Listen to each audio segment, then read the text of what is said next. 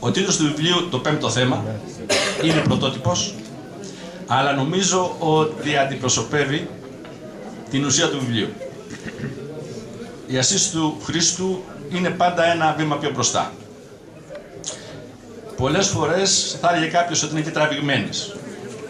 Στην πραγματικότητα ξεκινάει πάντα από πρακτικά θέματα, δεν είναι τόσο θεωρητικές. Ξεκινάει από ένα απλό θέμα. Ανέφερε ο κύριος Δήμαρχος προηγουμένως τη λίμνη σας εδώ και τη γέφυρα, του του. Ξεκινάει λοιπόν από ένα τέτοιο θέμα και το πηγαίνει λίγο ή πολύ, πολλές φορές τραβάει στα άκρα, φτιάχνοντας μια άσυση φυσικής. Άρα, σαν πέμπτο θέμα, είναι πράγματι πέμπτο θέμα. Πέμπτο θέμα. Ε, καλές ή κακές οι Αυτό ο καθένας μπορεί να το κρίνει ανάλογα με τις πεπιθήσεις του, με την άποψη που έχει για τη φυσική. Σε κάποιους μπορεί να πει ότι είναι καταπληκτικές, σε κάποιους μπορεί να πει ότι δεν είναι τόσο καταπληκτικές. Αλλά όλα αυτά νομίζω ότι έχουν πολύ μικρή σημασία. Η σημασία για μένα έχουν δύο πράγματα. Το πρώτο πράγμα είναι ότι ο Χρήστος, ενώ δουλεύει πάρα πολύ καθημερινά στην τάξη με τους μαθητές του, προσπαθώντας να τους βοηθήσει να τους μάθει φυσική, να τους μάθει χημεία, βρίσκει το χρόνο να φτιάχνει πρωτότυπες ασκήσεις, τις οποίες όμως δεν κρατάει στο σιρτάρι του. Είναι ασκήσεις που τις δημοσιεύει και τις μοιράζεται με όλους μας. Και νομίζω ότι αυτό είναι το πρώτο που πρέπει να κρατήσουμε.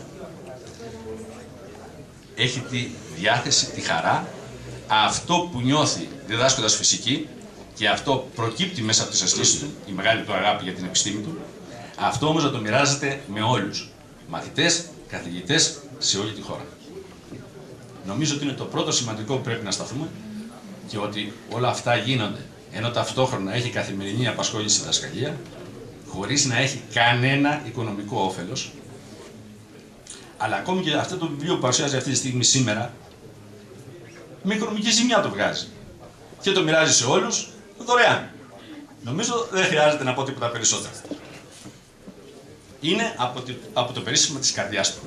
Σε ανθρώπους όπως ο Χρήστος Ελευθερίου και άλλους συναδέλφους οι οποίοι δρούν, εργάζονται, παράγουν και προσφέρουν.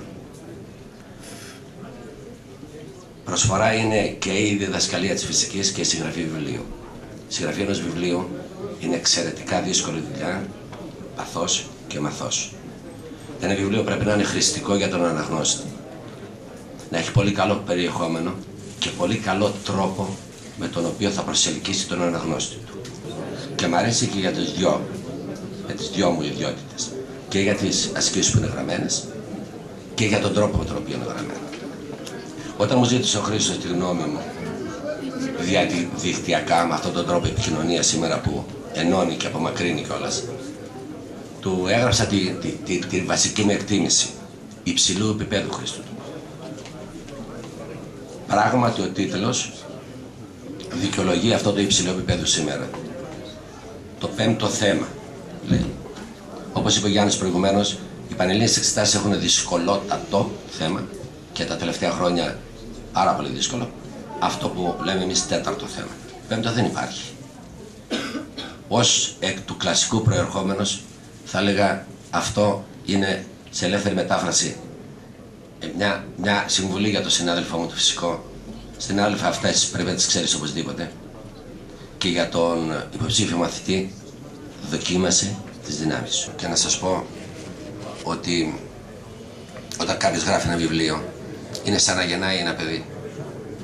Ιδιαίτερα αν είναι συνειδητός και θέλει να δώσει κάτι από τον εαυτό του. Χρήστο έγινες τρίτεχνος. Σου εύχομαι αγόρι μου και πολύτεχνος. Να σε καλά.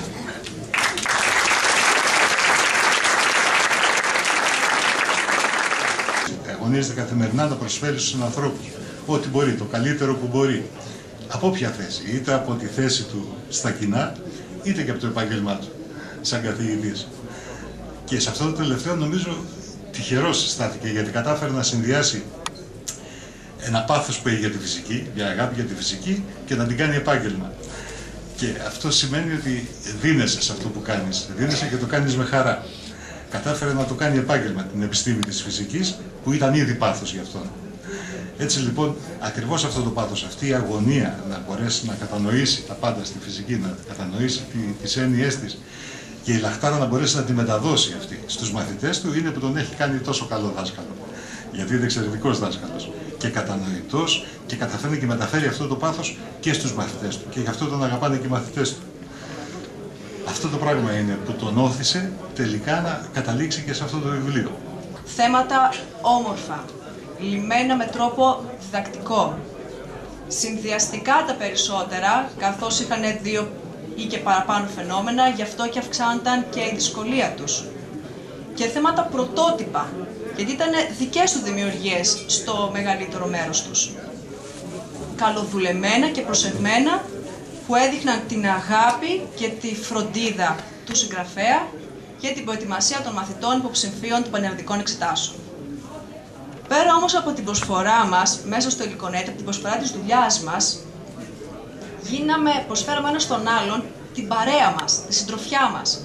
Γίναμε αυτό που έλεγε ο Γιάννης ο Κυριακόπουλος, ο οποίος δυστυχώς δεν είναι μαζί μας σήμερα, ένα καφενείο μέσα από συζητήσεις για τη φυσική και όχι μόνο, νιώσαμε φίλους, ανθρώπους πολύ πιο πριν τους φίξουμε το χέρι και έχουμε το χεροπολί.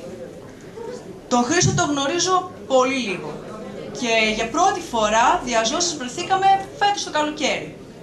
Παρόλα αυτά όμως, ήδη από το 2009 που πρωτογνωριστήκαμε, ξαναλέω μέσα από το υλικονέ, τον νιώθω ως φίλο μου. Και είναι μεγάλη τιμή για μένα σήμερα που βρίσκομαι εδώ να χαρώ μαζί του την προσφορά της δουλειάς του και με έντυπο τρόπο, γιατί μέχρι στιγμής μας την πρόσφερε απλόχερα ηλεκτρονικά, την απολαύσαμε και τη χρησιμοποιήσαμε κιόλας στη διδασκαλία μας. Του εύχομαι να είναι πάντα γερός, να έχει μεράκι και κουράγιο για να δημιουργεί. Ε, το σημαντικότερο πρόσωπο σε ένα δάσκαλο είναι να εμπνεύσει το μαθητή του. Δεν ξέρω τι καλά βιβλία γράφει, αν οι ασκήσεις είναι σωστές ή όχι. Να εμπνεύσεις το παιδί αγάπη για αυτό το οποίο πάει να διαβάσει. Και ο Χρήστος το έκανε πολύ καλά αυτό και σε μένα και στους άλλους ε, συμμαθητές μου. Οπότε γι' αυτό σου δίνω συγχαρητήρια. Για όλα τα υπόλοιπα, ας κρίνουν οι ειδικοί. Γίνεται και πρέπει να πάμε οπωσδήποτε απόψε στα Σέρβια να συγχαρούμε τους συνάδελφους. Σας ευχαριστούμε κύριε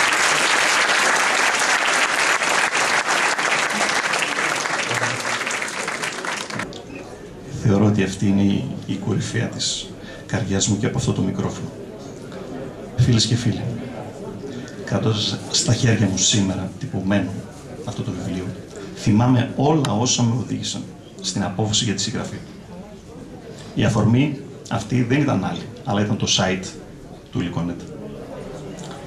Το να μοιράζεις πράγματα κάνει καλό σε όλους. Ήταν ένα από τα κεντρικά του συνθήματα. Αυτό με κατέκτησε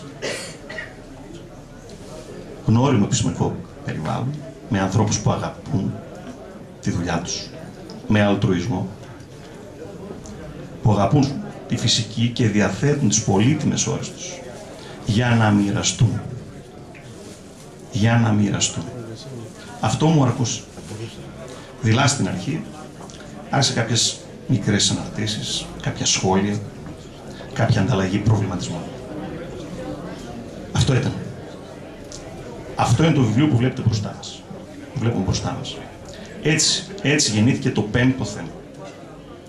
Βέβαια, από τη γέννηση μέχρι την ενηλικίωση και τη σημερινή του μορφή χρειάστηκε να βάλουν το χεράκι τους πολλοί άνθρωποι, στους οποίους χρωστώ και τη σημερινή μέρα.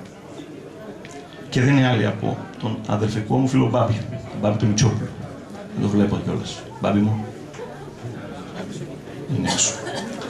Λοιπόν, το Μαρτίνο, το Δημήτρη, που σήμερα το Δημήτρη Δοντένου, που ασχολείται με οτιδήποτε ηλεκτρονικό έχει το φροντιστήριο. Και τον άνθρωπο που το έφτιαξε βιβλίο, τον Γιώργο Τοποθητάκη. Θέλω να ευχαριστήσω τους γονείς μου που μου έδωσαν τις αρχές και τα εφόδια για αυτή τη ζωή. Τη γυναίκα μου, τα παιδιά μου, για την υπομονή και την αμέριστη συμπαράστασή τους. Τον Διονύση Μάργαρη, που θεωρώ ότι η βοήθειά του ήταν καταλητική. Τον Παναγιώτη Μουστάκα. Ξέρω πόσο θα θέλει να είναι εδώ, αλλά δυστυχώς δεν, θα, δεν μπόρεσα σήμερα. Το Βαγγέλη Κουντούρη. Το μάτι και το αυτή που λένε. Το Λικονέτ. Δεν του ξεφεύγει τίποτα. το Διονύση Μητρόπουλο, που πάντα στα δύσκολα μας έβγαζε στον αυρό πραγματικά. Έδινε λύσεις. Ήταν στην κυριολεξία ένα κινητό λυσάρι. Το Γιάννη Κυριακόπουλο που από μια άτυχη στιγμή έπαθε μια διολύστηση στο σπόνδυλο, δεν είναι αυτή τη στιγμή μαζί μας, που πάντα έκανε οπτική μορφή της άσκησης. Σε μηδενικό χρόνο μάλιστα. Καθώς και την καλή μου συνάδελφο, την Ελευθερία Νασίκα, που βρίσκεται και αυτή σήμερα κοντά μας. Άφησα στο τέλος τον παιδικό μου φίλο, τον Γιάννη τον Λαπρό. Μιας και η ζωή μας έφερε να είμαστε φίλοι συγκάτοικοι, συνάδελφοι και τώρα μαζί καμαρώνουμε τα παιδιά μας που και αυτά θα φοιτήσουν στο φυσικό Θεσσαλονίκης. Όπως κάναμε εμείς 28 χρόνια πριν στο φυσικό Ενίνο. Φίλε Γιάννη, σε ευχαριστώ. Επίσης, ένα μεγάλο, μεγάλο ευχαριστώ στους μαθητές μου. Σε αυτούς που σήμερα γέμισαν εδώ την αίθουσα, παλιούς και νέους. Αυτή είναι η πραγματική πηγή της έμπνευσης αυτού του βιβλίου. Με μια ευχή μέσα από την καρδιά μου να προκόψουν και να ευτυχήσουν. Σας ευχαριστώ όλους που μοιράζεστε μαζί μου μια από τις σημαντικότερες στιγμές της καριέρας μου. Ευχαριστώ.